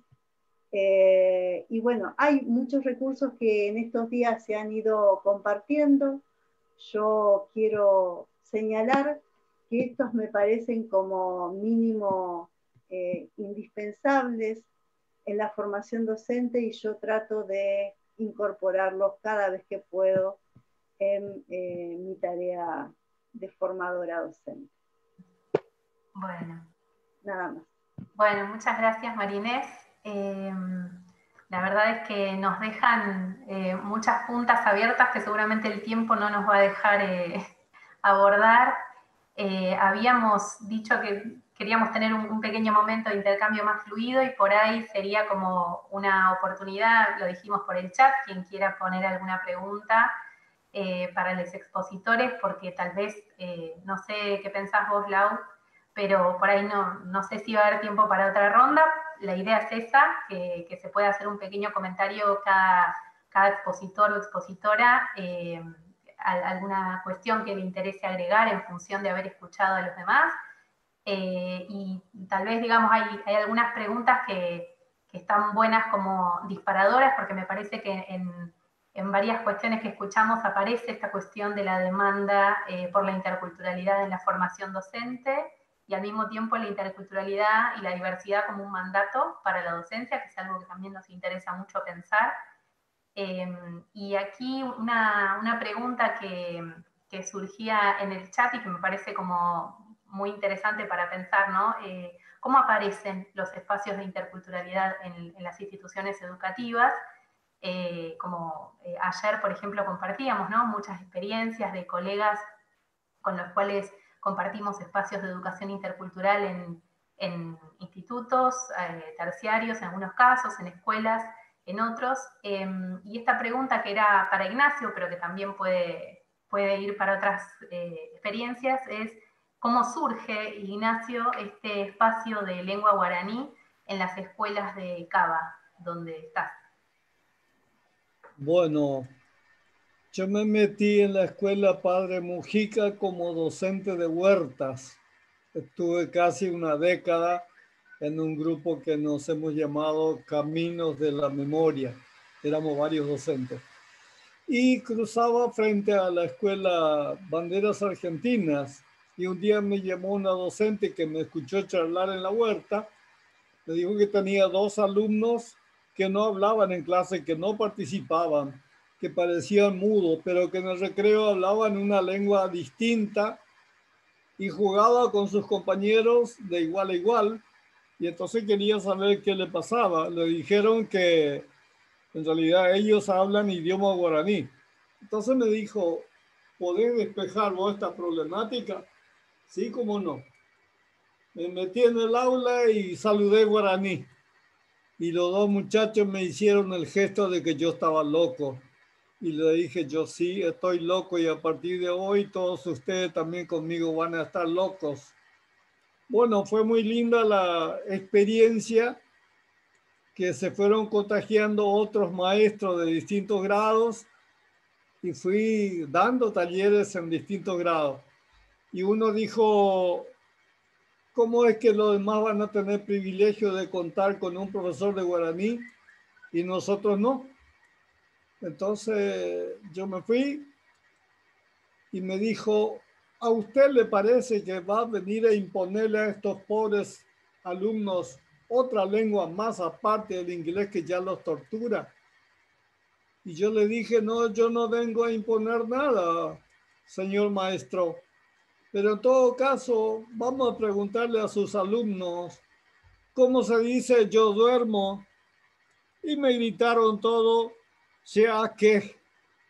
¿Y cómo se dice tú duermes? ¿Dere qué? me dictaron toda la conjugación. Y entonces le dije al maestro, se da cuenta que yo no vengo a imponer nada, solamente vengo a rescatar contenidos que están en ellos, que nada más que hay que permitirlos que afloren para que ganen en confianza y pueda ser útil para todos. Entonces, de alguna manera, ese fue el punto de partida. Después apareció esta compañera Graciela País, que tramitó a través del programa PIES eh, unos recursos económicos para que yo me quedara. Y bueno, así me, me extendí también a la escuela 10. El director de la escuela 10, un director que tiene como 10 años de permanencia ya en, en la escuela, y él anduvo buscando docentes de guaraní, recorrió la embajada, consulado, centros culturales. Y bueno, hasta que un día dio conmigo. Me invitó, yo me fui a la escuela y se mandó una presentación de novela a la entrada, izando la bandera y todo. Y ya me pidió que hablara algo en guaraní que era un amanecer distinto para tantos niños de Barraca que hablan lengua guaraní. Bueno, yo me mandé un pequeño mensaje improvisado y después no pudieron entrar al aula porque todo el mundo quería estrecharme las manos a medida que iban pasando. Y ahí descubrí la cantidad de guaraní hablantes que había en esa escuela. Entonces fue muy hermosa esa experiencia y bueno, esos chicos del séptimo grado de la escuela 25 son los que a fin de año hicieron la encuesta con los distintos maestros por donde pasó el guaraní a preguntarle cómo estaban los alumnos ahora en cuanto a la comprensión del castellano. Y todos le dijeron, entienden mucho mejor, ahora hacen una diferencia, eh, que el guaraní comienza por la derecha y va a la izquierda y nuestra lengua empieza por la izquierda y va hacia la derecha. Y bueno, algún ejemplo, bueno, la bella casa de Juan y al traducirlo en guaraní empecé con Juan. Juan Roga Pona.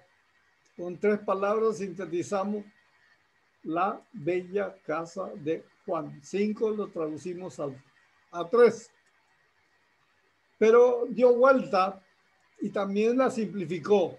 Entonces en esa simplificación vemos que guaraní toma palabras, toma letras y va conformando esa aglutinación que permite simplificar y darle contenido a una sola palabra.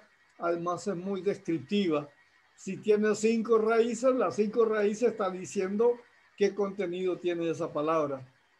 Entonces, es una lengua que tiene 12 vocales. ¿Para qué tanto? Y con 12 vocales se puede imitar los sonidos de la naturaleza en la selva.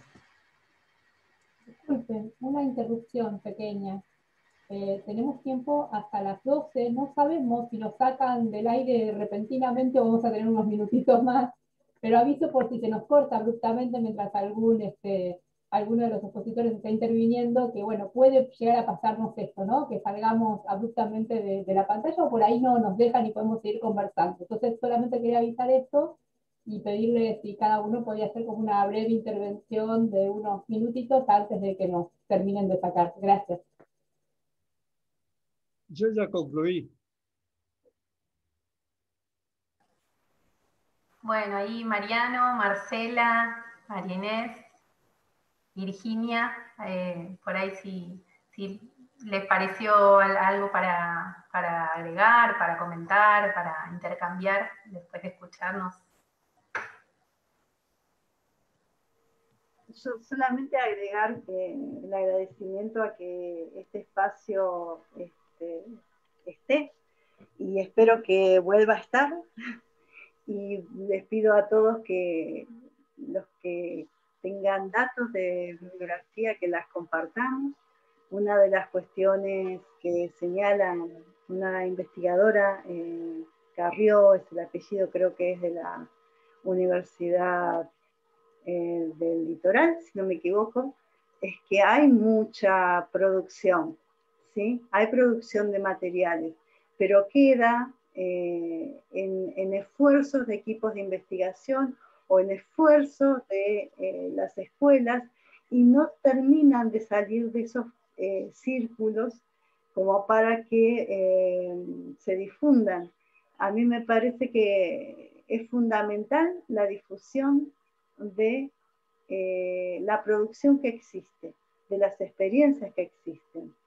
Eh, en ese sentido, vuelvo a agradecer a, Marcela Lucas por su trabajo eh, y me parece también muy importante el trabajo que está señalando Virginia en tanto el papel de, de las bibliotecas y, bueno, creo que nada más por mi parte. Gracias a todos y me quedo con ganas de más, de escuchar mucho más.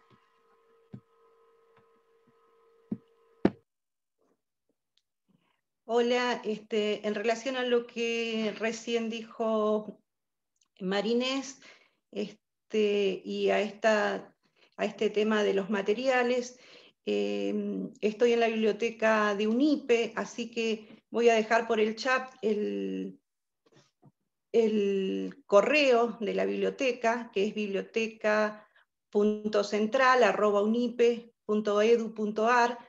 Este, y allí los que quieran pueden mandar los materiales. Yo tenía unos materiales en un, en un Power que no pude, por una cuestión de problemas con el Office, no pude este, compartirlos, este, pero si me escriben eh, a la biblioteca, este, podemos este, hacer esta cadena de compartir este, los materiales.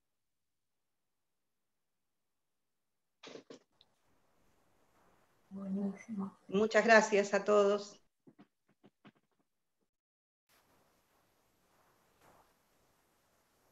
Bueno, em, escuchamos a alguien más. Eh, hay, hay, muchas, em, hay muchas cuestiones que se van compartiendo en el chat que son muy interesantes.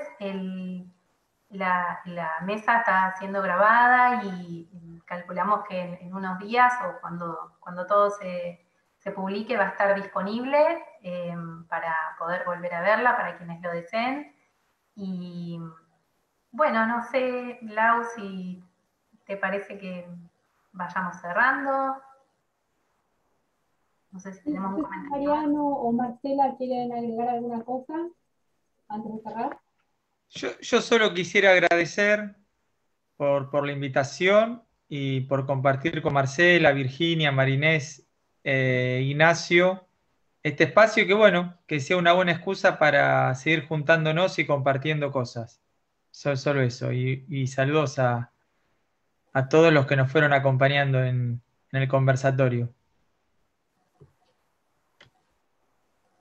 Bueno, y yo también agradecerles, plantear que la tarea docente siempre es difícil, siempre nos ofrece nuevos desafíos, y eso también es lo maravilloso, que es muy importante la formación docente, pero las habilidades siempre escapan a, esas, a la formación, ¿no? O sea, siempre, eh, que bueno, que es importante como docentes salirnos a preguntas y en esas preguntas entrar en diálogo con, con los estudiantes, ¿no? Eh, y ahí vamos a encontrar caminos.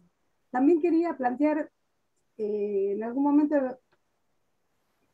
habían hablado de, sobre las descripciones teóricas de las lenguas y veo cómo esta descripción teórica, cómo eh, Ignacio la lleva a, la práctica, ¿no? la lleva a explicar esa conformación de esa lengua.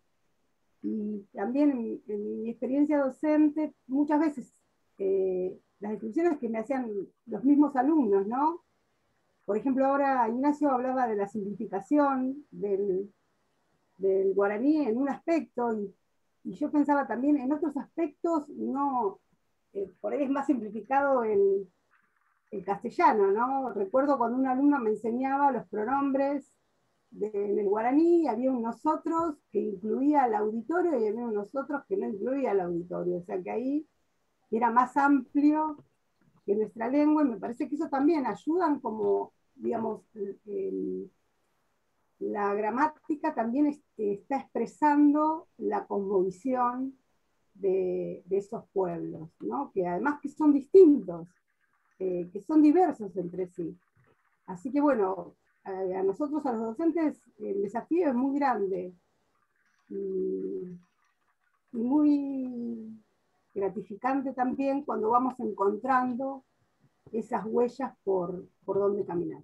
Así que bueno, agradezco a todos, a todas, los que estuvieron hoy escuchándonos y a quienes organizaron este encuentro. Nosotros les agradecemos a ustedes por participar en este foro, por abrirse a conversar sobre estas cuestiones que son importantes y al mismo tiempo son un área de vacancia y quedan un montón de puntas todavía por, revisar y, por ver cómo se articulan. Además se plantearon muchísimos problemas que, como dijo Mariano, esperamos que sean el puntapié para seguir conversándolos en, otros espacios eh, que, que, también integren experiencias de, de otros lugares. ¿no? Por ahí había una colega de Chaco que decía que algo de lo que planteaba Ignacio era parecido a lo que había pasado en los inicios de, de sus, de experimentos, digamos, con estas cuestiones en, su provincia. Entonces creo que hay una riqueza interesante como para explorar a lo largo y ancho del territorio de nuestro país también, ¿no? Que podemos ir mirando. Así que bueno, agradecerles a todos, avisarles que mañana seguimos con esta propuesta, mañana tenemos una mesa dedicada a investigaciones eh, actuales o recientes sobre temáticas relativas a, la educación intercultural. Así que bueno, los esperamos mañana y le doy la palabra a Laura por si quiere decir algo más antes del cierre, que se me está olvidando. No, también eh, contarles lo que comenté en el chat, que tomamos nota de muchas de sus observaciones sobre cuestiones que pasan o los diseños de, distintos lugares del país, que es súper valioso poder tener este espacio para encontrarnos y agradecerles nada más y, y bueno, mañana nos volvemos a encontrar.